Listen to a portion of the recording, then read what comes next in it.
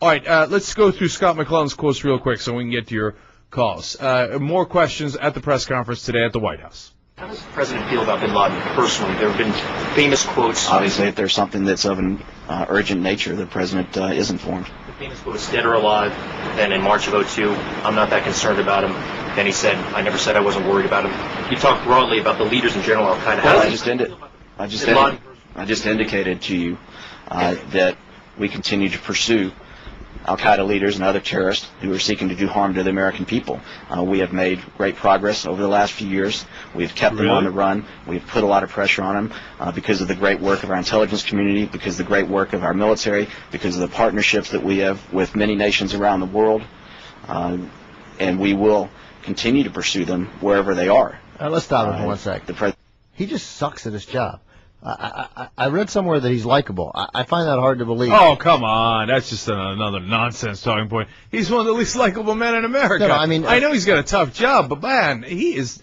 I mean, the, the evasiveness and the sweating and the, this guy's. No, I mean, no. who wants to hang out with Scott McClellan? It's the as I just explained to you. I said, don't. It, it is it is such basic press work not to get snippy and say, as I just explained to you, because you didn't really explain anything. First of all, Wouldn't You're you lose incredibly your evasive. patience if you were Scott McClellan, though, at this point? No, it's your whole job, and it's not a question of losing your patience. He's losing his patience over stuff that's not worth losing your patience over. He just didn't explain something. When they follow it up, then say, uh, "Let me, let you know." No, what I'm trying to say is this, and just just say it. But he's he's instantly snippy. It's like it's like he's their wife. Eh, No, it's because he's a punching bag. They come out there and they're like, he has his talking point of today, and he repeated it, I don't know, a dozen times. He's on the run. Now, that is the most nonsensical talking point of all time because the man is clearly very comfortable in a studio somewhere making tapes, right? So there's nothing on the run about him. He's been comfortably sitting in northern Pakistan for four years. It, the point is absolutely indefensible, and he's got to get out there and try to defend it for, you know, however long that uh, thing takes. I mean, that's tough. It's it's hard work. It's hard work. I I mean, I'd get snippy too probably if somebody told me to go live for an hour straight. Yeah, no, I hear you. I hear you. Uh, we take a couple calls and go back and hear hear a little more Scott McClellan or no? Uh, let's just finish him up. He's almost done. Oh, is he almost done? Yeah, he's got he's finishing that All right. up, and he's got one more question. Uh, the president has made that very clear. Uh, they can run, but we will continue to pursue them, and they will be brought to justice. They can run and continue to hide. Well, we don't care about them. It's kind of like the Arizona, Arizona Cardinals saying, "We got the Patriots on the run."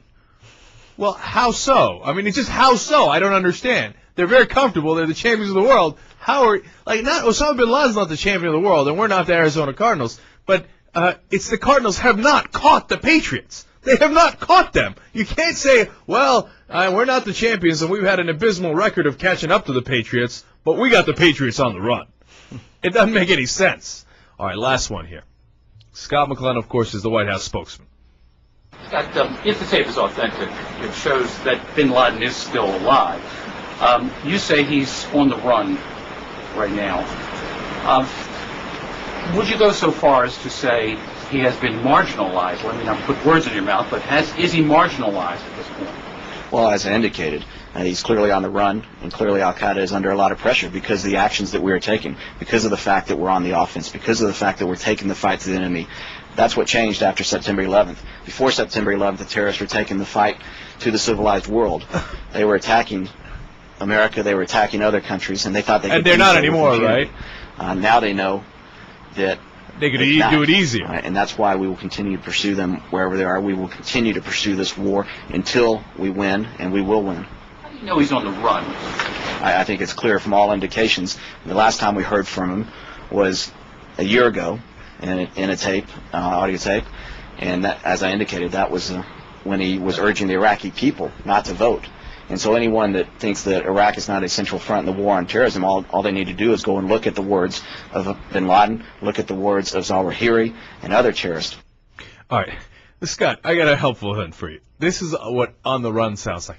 Uh, uh, yeah, uh, Bush, uh, you're, we're coming to get you. Uh, I offer a truce. I offer a truce.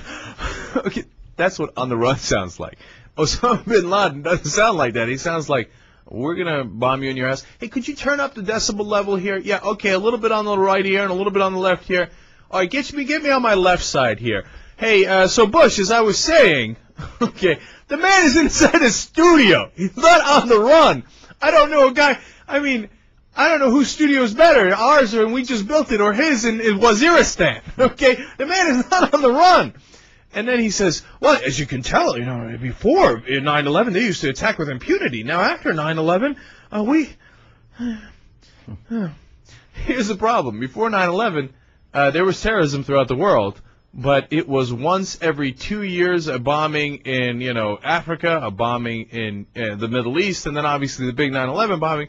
Now there's bombings everywhere, and that's not just some, you know, anecdotal evidence. The State Department puts out a list every year. It's quadrupled. It's gone up. How many fold? I can't tell you. There's numbers. The terrorism is skyrocketing in the last four years. Yeah, that's not fair to ask Scott McClellan. though. The terrorists are on the run around the world. I guess so. Since they're planting the bombs all around the world, they got to run from one location to another.